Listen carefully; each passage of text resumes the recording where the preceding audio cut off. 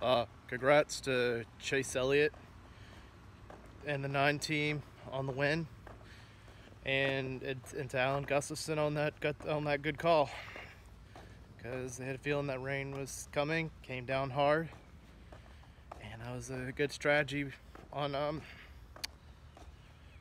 the nine teams' part, and they were at the right place at the right time. And congrats to Chase Elliott's fans also on the wind and his first win of the year. And Chase being the 11th different winner. And uh, shout out to Ross Chastain and AJ Allmendinger, both getting top fives. And shout out to one of my favorite drivers, Chase Briscoe in the 14 car, getting his first career top 10 finish in Cup and on a road course. And I said I'd have a feeling if he didn't wasn't able to win it, I think he'd be able to get a great finish on the road course because he's good on the road courses. So I'm happy about Chase Briscoe getting his first career top 10 finish. And um, happy for the 14 team getting their top 10, first career top 10 finish. And proud to have him as one of my drivers too. And now to um, my, my, my main driver, Austin Dillon. Up and down day. I thought the first part of the race we weren't doing so hot.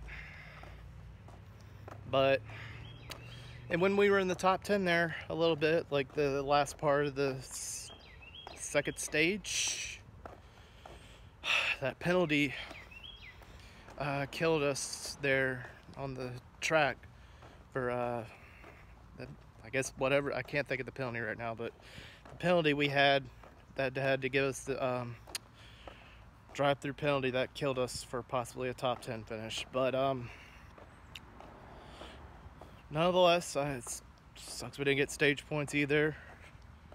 But um, all in all, I'm actually uh, thrilled we got a 12th place finish because we have never had a uh, top 15 um, finish on a road course. So I, I said earlier this past week that if they could finish top 15 on a road course, that'd be like a win for us. And I'd celebrate like a win because we are historically not really great on the road courses. My driver isn't, but uh, hopefully we'll, we got to go to another road course in a few weeks at Sonoma, so we better buckle down on that. But um, my next thing I'm focused on as a race fan right now is uh, Coke 600 and um, mile and a half are where we usually do good at for the three team and that's our bread and butter of doing pretty well. Um, I see we're uh, 37 points in front of McDowell for 16th and 70 points in front of Matty D who's 17th so as long as we can get some uh, multiple time winners like um, Martin Truex and uh, Martin Truex and some others, and Alex Bowman, I mean, yeah, Martin Truex and Alex Bowman, and, and some others get two or more wins, and we can get a win. Hopefully we could be safe in the playoffs as long as we don't have any more new winners. So, um,